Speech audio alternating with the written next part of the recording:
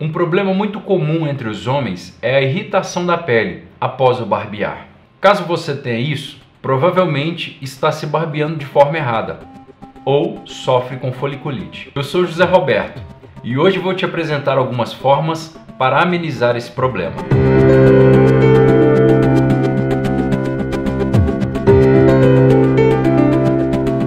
A primeira informação que você precisa saber é que se a irritação é frequente, muito provavelmente você sofre com a foliculite. E para tratar esse problema, eu sempre recomendo o Tend Skin. É um produto específico para o tratamento da foliculite e pode ser utilizado também na barba. Caso você tenha interesse nesse produto, é só acessar o site que está na tela.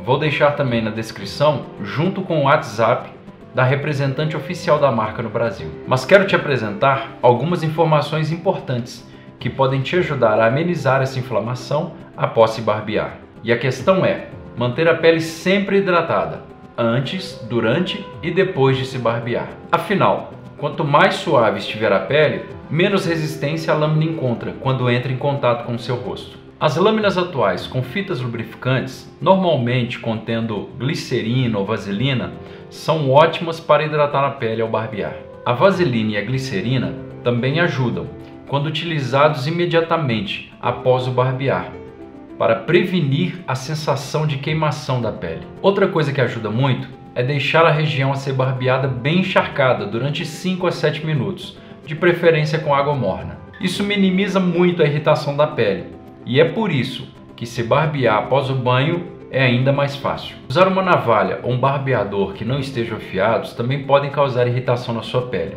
e, em alguns casos, podem levar até algum acidente. Então é muito importante você ter sempre os seus equipamentos muito bem afiados. O sentido que você vai passar a sua navalha também pode causar irritação na sua pele.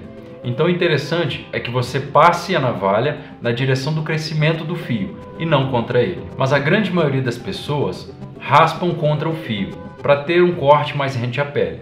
Só que para evitar essa irritação na pele, o interessante é que a lâmina seja passada a favor do crescimento do fio. Caso você já tentou todas essas dicas e ainda não conseguiu resolver esse problema, o Tend Skin pode ser a solução. Não se esqueça de se inscrever no canal para receber novas dicas e informações. Deixe aqui nos comentários se você tiver ainda alguma dúvida. Espero ter te ajudado e obrigado por assistir até aqui.